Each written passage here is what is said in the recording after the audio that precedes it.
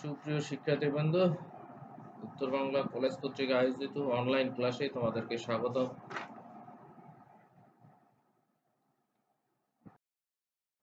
পরিচিতি আমি পবিত্র কুমার, প্রভাষক, সমাজবিজ্ঞান বিভাগ উত্তর বাংলা কলেজ, কাকনিয়া, কালীগঞ্জ, লালমনিরহাট। অনার্স প্রথম বর্ষ, বিষয়, রাজনৈতিক, সমাজবিজ্ঞান। আলোচ্য বিষয়, রাজনৈতিক কর্তৃত্ব কি? কর্তৃত্বের বৈশিষ্ট্য। রাজনৈতিক কর্তৃত্ব কি? রাজনৈতিক কর্তৃত্ব হল প্রকৃত কর্তৃত্বের একটি রূপ। এ ধরনের কর্তৃত্বের রাজনৈতিক বৈধতার স্বীকৃতি মেলে। সাধারণত রাজনৈতিকভাবে অর্জিত কর্তৃত্বকেই রাজনৈতিক কর্তৃত্ব বলে। আরও স্পষ্টভাবে রাজনৈতিক কর্তৃত্ব সমাজতত্ত্বের ভাষায় বলা যায় যে, রাজনৈতিক কর্তৃত্ব হল এমন এক কর্তৃত্ব যা আইনের দৃষ্টিতে রাজনৈতিকভাবে বৈধতার স্বীকৃতি দেয়। রাজনৈতিক কর্তৃত্ব সম্পর্কে কতিপয় প্রসিদ্ধ সংজ্ঞা আছে। ম্যাক্স ওয়েবার বলেন, political authority is the recognition of the right to rule respective of the section, the ruler may process. Max ওয়েবারের মতে, রাজনৈতিক কর্তৃত্ব হল নাগরিকদের মূল্যবোধের সঙ্গে সামঞ্জস্যপূর্ণ ক্ষমতা প্রয়োগের স্বীকৃতি। বস্তুত আদেশের সঙ্গে মানুষের মূল্যবোধের সামঞ্জস্য সাধন এবং আদেশ মান্য করানোর দক্ষতার ভিত্তিতে রাজনৈতিক কর্তৃত্বের সৃষ্টি হয়। সুতরাং বলা যায় যে রাজনৈতিক কর্তৃত্ব হল রাজনৈতিকভাবে বৈধতার স্বীকৃতি।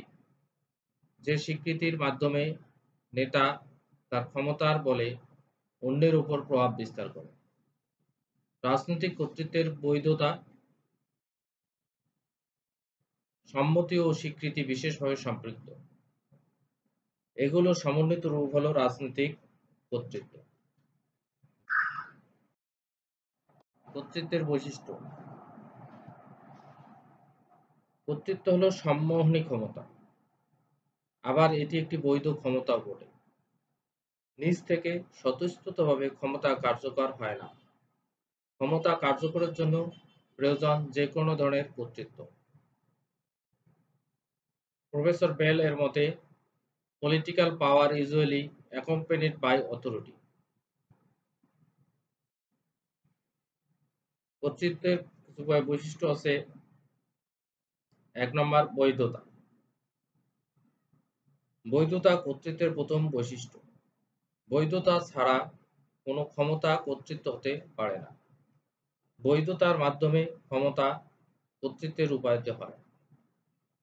অনুমোদনের মাধ্যমে কর্তৃত্বে বৈধতা আসে। সমাজবিজ্ঞানীদের ভাষায় the most important accept of authority is legally and legitimacy is very essential for authority. দুই নম্বর, ঘনিষ্ঠতা। ক্ষমতা সাথে কর্তৃত্বের সম্পর্ক অত্যন্ত ঘনিষ্ঠ। ক্ষমতা একটি পূর্বশর্ত হল কর্তৃত্ব। ক্ষমতা ও কর্তৃত্বের মধ্যকার সম্পর্ক ঘনিষ্ঠ। কর্তৃত্বের বলে ক্ষমতার বাস্তবায়ন সহজ। যোগসূত্র সম্পর্ক থাকায় বিদায় কর্তৃত্বের কার্যকর করা যায়। আর ক্ষমতা কার্যকরিতার জন্য কর্তৃত্বের উপযোগিতা অপরিহার্য। অনানুষ্ঠানিকতা। কর্তৃত্ব একটি অনানুষ্ঠানিক বিষয়। এটি সর্বদা আনুষ্ঠানিক নয়। উদ্বোধন কর্মকর্তা অধ্যস্তনদের উপর প্রভাব বিস্তার করতে আনুষ্ঠানিকতা প্রয়োজন পড়ে ক্ষমতা আরোপের জন্য সবসময় আনুষ্ঠানিকতা ও জাঁকজমকের দরকার হয় না। আনুষ্ঠানিকতা অনেক সময় বাড়াবাড়ি মনে হয়। এটি আইনানুগ যা অনানুষ্ঠানিকভাবে প্রয়োগ করা যায়। অনুমোদন। কর্তৃত্বের একটি অন্যতম মৌলিক বিষয় হলো অনুমোদন। ক্ষমতা অনুমোদনের মাধ্যমে তা কর্তৃত্বে পরিণত হয়। বিশ্লেষকদের মতে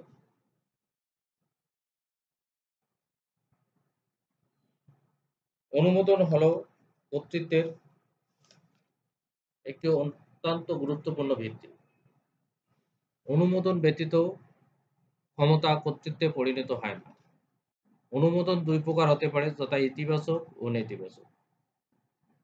ইতিবাচক অনুমোদন পরিতোষিকের আকারে আর নেতিবাচক অনুমোদন শাস্তিমূলক প্রতিপন্ন হয়। যৌক্তিকতা কর্তৃত্ব যৌক্তিকতার উপর প্রতিষ্ঠিত। কর্তৃত্বের পেছনে যৌক্তিকতা থাকা আবশ্যক। যে কোনো ক্ষমতা অনুমোদনের জন্য তা যৌক্তিক হওয়া আবশ্যক। যথার্থ কারণ ছাড়া অন্যের উপর নিয়ন্ত্রণ ও প্রভাব খাটানো যায় না। যৌক্তিকতার বৈধতাকে অর্থবহ করে তোলে। আইনজ্ঞদের মতে the basis of authority is reason we accept authority because it is based on logic.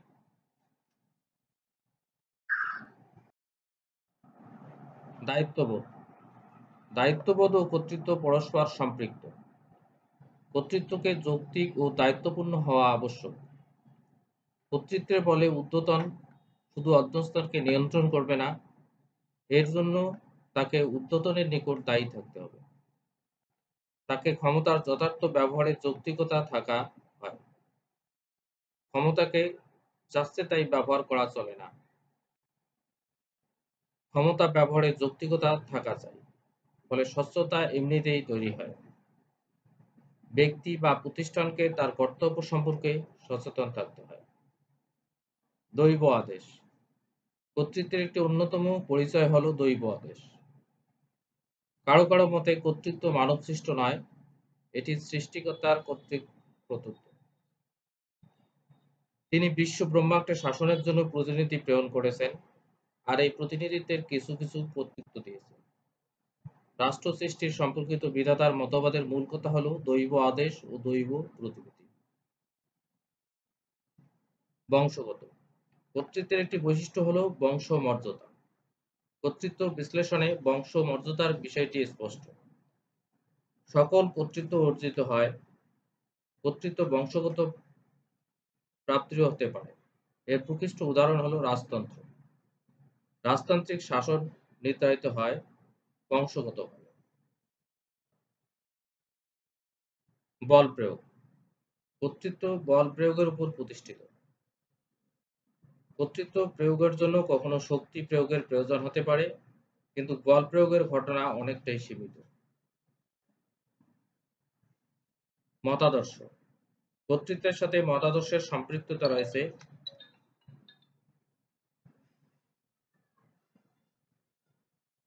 আধুনিক কালে রাজনৈতিক কর্তৃত্বের ভিত্তি হিসেবে মতাদর্শকে বেশি গুরুত্ব দেওয়া হয়। পরিশেষে বলা যায় যে, কর্তৃত্বের মধ্যে কতিপয় মৌলিক বৈশিষ্ট্য বিদ্যমান। কর্তৃত্বের ধারণা বিশ্লেষণ করলে এ সকল বৈশিষ্ট্য স্পষ্ট হয়ে। সুপ্রিয় শিক্ষার্থীবৃন্দ তোমাদেরকে অসংখ্য ধন্যবাদ অনলাইন ক্লাসে যুক্ত থাকার জন্য। ধন্যবাদ।